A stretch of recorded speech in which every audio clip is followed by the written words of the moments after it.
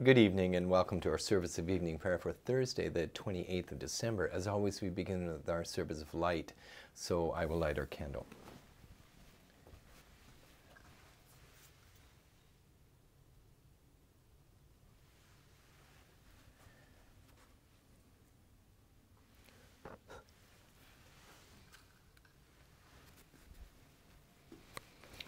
Light and peace in Jesus Christ our Lord. Thanks be to God.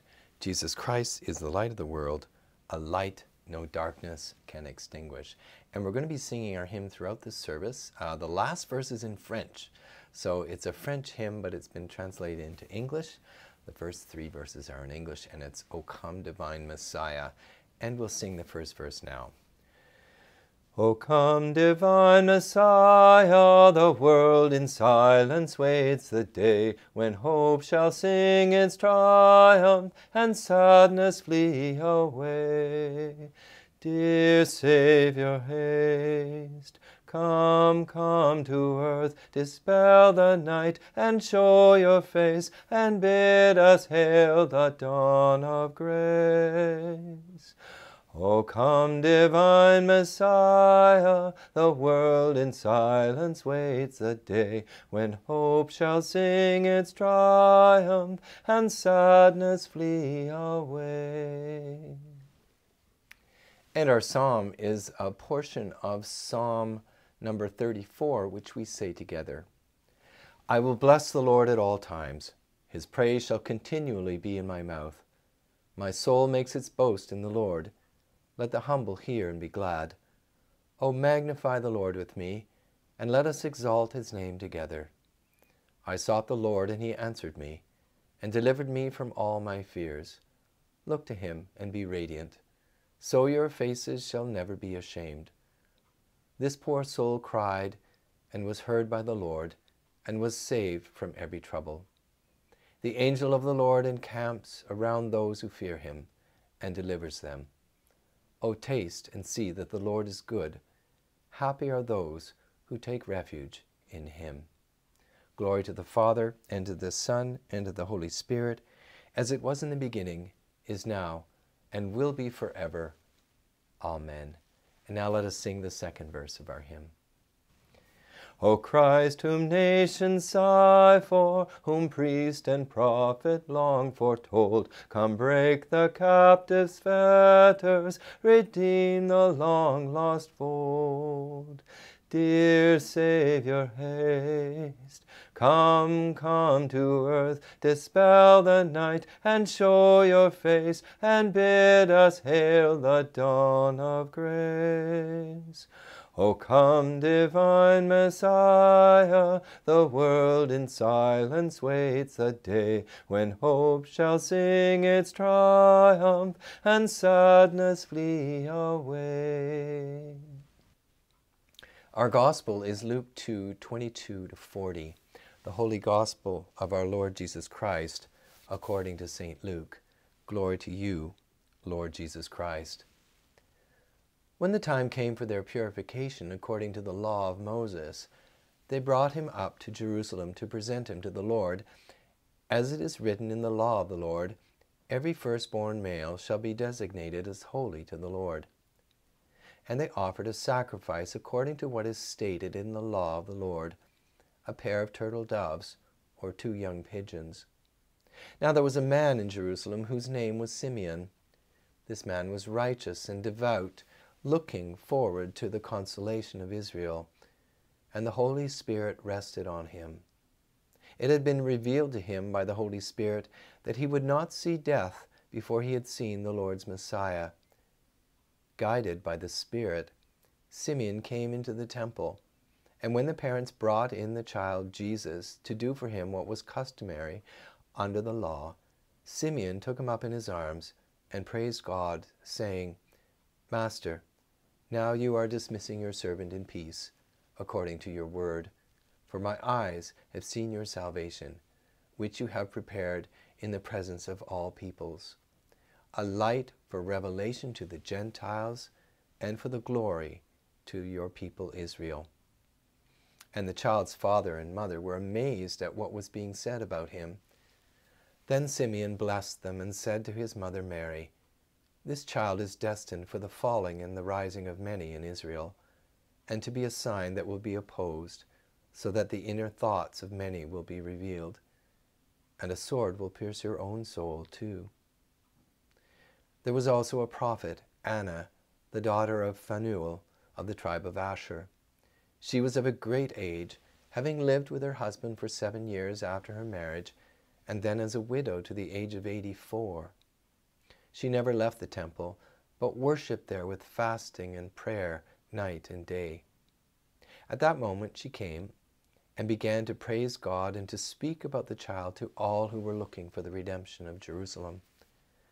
When they had finished everything required by the law of the Lord, they returned to Galilee, to their own town of Nazareth. The child grew and became strong filled with wisdom, and the favor of God was upon him. The gospel of Christ. Praise to you, Lord Jesus Christ.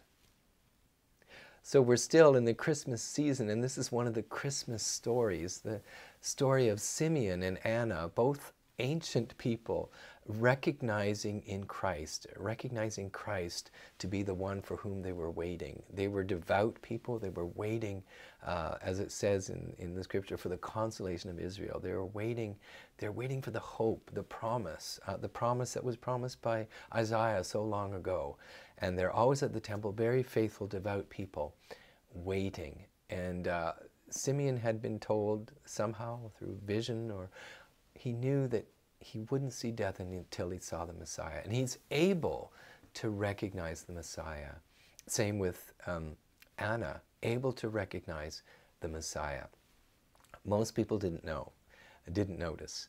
Um, but some people are seem to be attuned to recognize the divine, the holy. Um, and I think that we as followers of Christ need to remember that this is a possibility for us to be able to recognize the, the work of the divine in our world. Um, we recognize in Jesus, although we've not seen Jesus in the flesh, we recognize in Jesus uh, that he is the Messiah, the Son of God, um, divine, born human. Um, but let us also recognize the divine breaking into our world uh, because of the work of Jesus. Um, Jesus breaks into the world as divine into this world of flesh and physics. Um, Jesus breaks into it. Um, but Jesus continues to break into the world. Um, the divine, the Christ, breaks into our world. Um, let us pray for the eyes of Simeon and Anna to be able to recognize this and to give our lives for this. Jesus was born to be the Savior of the whole world. Um, and it was a dark time in uh, Simeon and Anna's in Anna's time, and, and they speak about the light coming into the world. It's a dark time in our world too. Let us look to the light to see Christ working in the world and give our lives and our efforts to that. Let us sing the next verse of our hymn. You come in peace and meekness, and lowly will your cradle be. All clothed in human weakness, shall we your Godhead see. Dear Savior, haste. Come, come to earth, dispel the night, and show your face, and bid us hail the dawn of grace. O come, divine Messiah, the world in silence waits the day when hope shall sing its triumph and sadness flee away. And now let us say together the words of the Hear O Israel. Hear O Israel, the Lord our God, the Lord is one. Love the Lord your God with all your heart, with all your soul, with all your mind and with all your strength. This is the first and the great commandment. The second is like it love your neighbor as yourself. There is no commandment greater than these. In our prayers today, we will use the litany for the incarnation. Uh, and the response is, Lord, grant us peace. By the good news of our salvation brought to Mary by the angel, hear us, O Lord. Lord, grant us peace. By the mystery of the Word made flesh, hear us, O Lord. Lord, grant us peace. By the birth in time of the timeless Son of God, hear us, O Lord. Lord, grant us peace. By the manifestation of the King of glory to the shepherds and magi, hear us, O Lord. Lord, grant us peace. By the submission of the Maker of the world to Mary and Joseph of Nazareth, hear us, O Lord. Lord, grant us peace. By the baptism of the Son of God in the river Jordan, hear us, O Lord. Lord, grant us peace. Grant that the kingdoms of this world may become the kingdom of our Lord and Savior, Jesus Christ. Hear us, O Lord. Lord, grant us peace. And as we are praying for peace, we pray for a world so much of which does not know peace at this time. We pray for the land of Jesus' birth, for the people of Israel, the people of Gaza, the West Bank. We pray, O oh Lord, that people might recognize in each other that all are beloved of God, that every life has value. We pray that people might turn their hearts away from vengeance and striking back and greed, and instead might recognize in each other brothers and sisters who need help. We pray for our part in the process of peace. May we ask our leaders to work towards peace. For we pray this in Jesus our Lord, Lord, in your mercy, hear our prayer. We pray for those who are sick, those known to us and those unknown to us, but today in our cycle of prayer for the sick, we pray for Joanne Canerva, Gail Miller, Natalia Stanzak, Brenda Hicks, Mary Plant, Vera, Jim Glass, Daryl Wilson, Al and Melba de Cruz, Bonnie Leonard, Linda and Karen Gordon, Carlos Nuri, Carol, Gail, Stephen and Diane Scruton, Shirley Cooper, Kathy Bosco.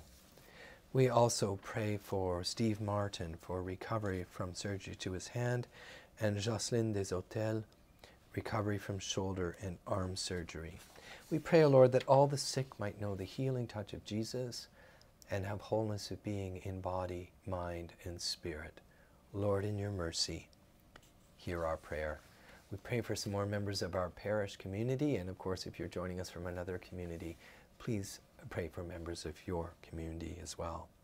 Today we pray for Harold and Ann Spence, for Karen Spence, for Eileen Spidel, for Bill and Shirley Stafford, for Daniel and Marion Standret, for Mary Starodub, for Jacqueline Stevens, for Donald, Marjorie, Natoya, J. And Montek Stevenson, for Douglas, Tammy, James, and Mallory Stewart, and for Frida Stirl.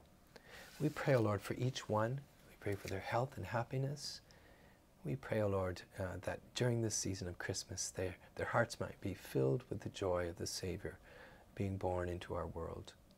We pray, O Lord, that they might give of themselves uh, to working towards your kingdom, to promoting peace and justice, and that they might know they belong to a community of faith that cares and prays for them. Lord, in your mercy, hear our prayer.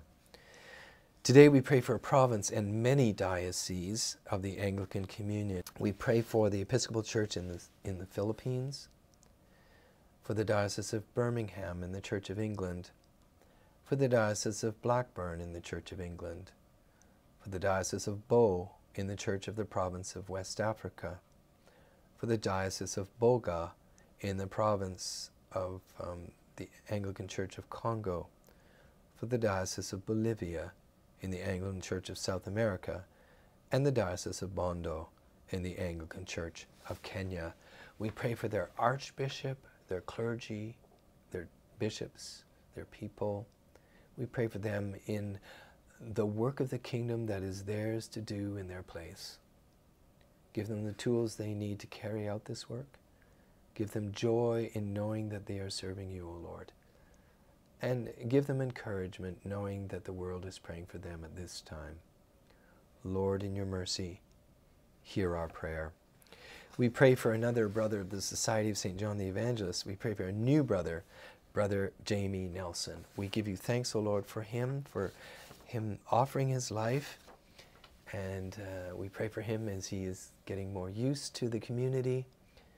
Give him joy in, in, in the community that, that is developed there. Give him the support he needs. Give him all the tools he needs as he learns. Um, give him gratitude for your grace that it might flow richly through him.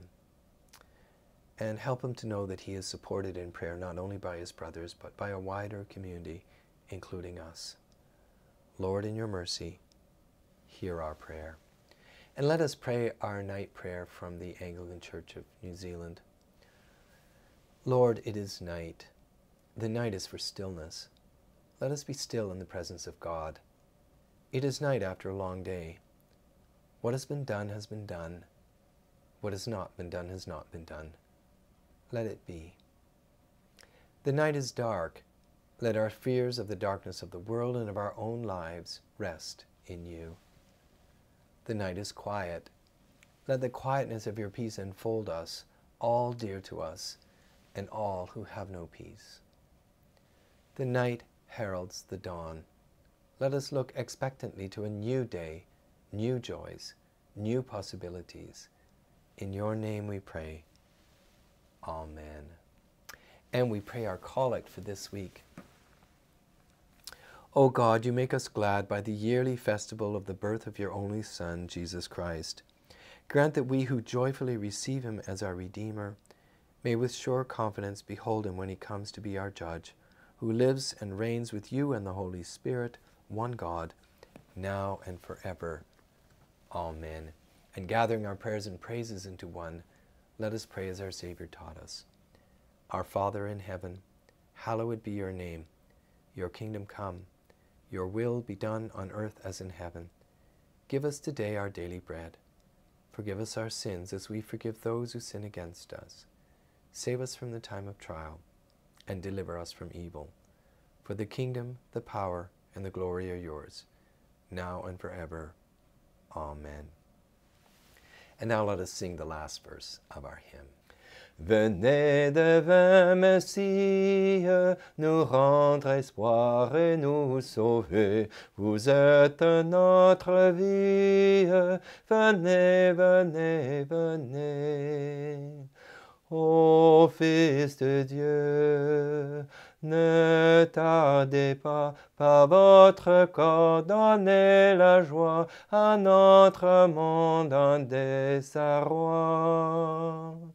Redites-nous encore de quel amour vous nous aimez, tant d'hommes vous ignorent. Venez, venez, venez. Venez Messie, nous rendre espoir et nous sauver. Vous êtes notre vie. Venez, venez, venez. Let us bless the Lord. Thanks be to God. The Lord Almighty grant us a quiet night and peace at the last. Amen. May the God of hope fill us with all joy and peace in believing through the power of the Holy Spirit. Amen. Well, continuing Merry Christmas to you. Christmas is a season and we're still within the 12 days of Christmas, so Merry Christmas. I hope that you had a, a wonderful Christmas celebration with family and friends, and uh, I hope that the peace of this season might uh, fill, fill your lives. Um, we, I, I want to just remind you that uh, we do ha now have the opportunity for online prayer requests. So if you know someone who needs prayer, you might just hit the link that's on the, the blog page and uh, just fill in the little form or have them do it, let them know. Um, because I'd just love to be able to have these evening prayers to be a place where we pray for the needs of the community as they, as they become clear to us. And if uh, someone needs prayer, we're experts at that. We know how to do that. So, um, and this little community of evening prayer, um, we're well able to pray for all the needs of our community. Um, we've had a busy season um, of Christmas, and I just want to thank everyone who had a part to play in our Christmas Eve and Christmas Day services. Uh, and I wish you uh, a blessed night's rest and all of God's blessings.